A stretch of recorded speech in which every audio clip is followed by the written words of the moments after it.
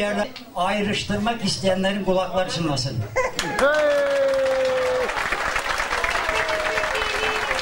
Bu bir. İkincisi burnumdaki işareti soracaksın. Sen dikkatler hep üzerimde gibi oluyor. Hemen açıklayayım efendim. Sesiniz açılsın diye koydum. Efendim bir. Müdürümüz Sayın Semih Gül dedi ki hocam akşam maskeli balığı var.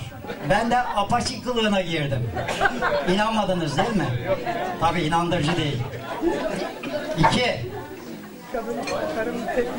Az önce sağ olsun yine Semih Bey hastaneye götürdü. Ufak bir kaza atladım. Hastaneye götürdü. İğne yapıldı.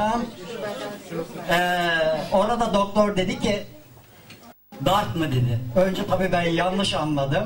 Dark mı deyince ilk akla gelen hanım geldi. Yok dedim. Onun boyu kısa oraya kadar yetişemez.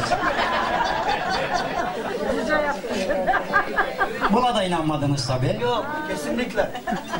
Ama ben her ne kadar doğruyu söylediysem maalesef bu şık en geçerli şık oldu. Kime söylediysem ya küvetten düştüm, burnumu çarptım dediysem inandıramadım. Bunu da açıklamış olayım. Çok teşekkür ederim. Çok teşekkür ediyorum. Efendim madem ki eğleniyoruz eğer orkestra şefimiz izin verir ise sizlerden de izin isteyerek aramızda çok güzel sesli bir başkanımız var. Ee, İzmir'in eski Bornova Belediye Başkanımız Ali İhsan Ülker. Ben ondan benim pardon Balço Bornova mı dedim Balço.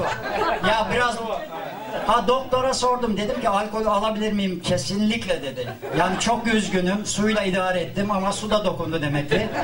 Şimdi Ali İhsan Ülker kardeşimden ben benim bir şarkım vardır. Dönülmez akşamın ukundu.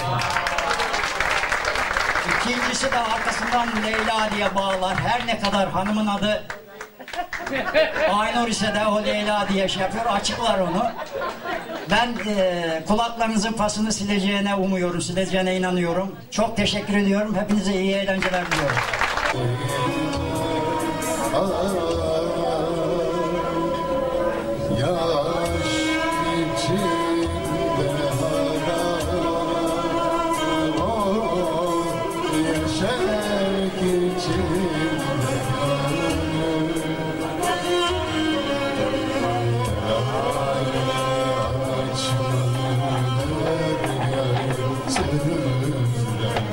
young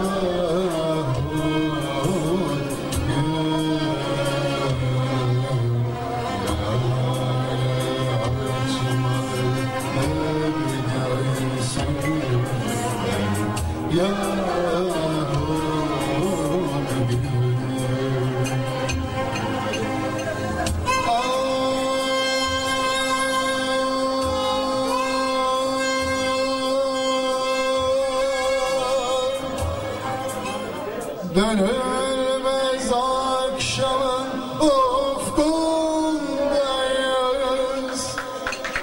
Vakit çok yeah.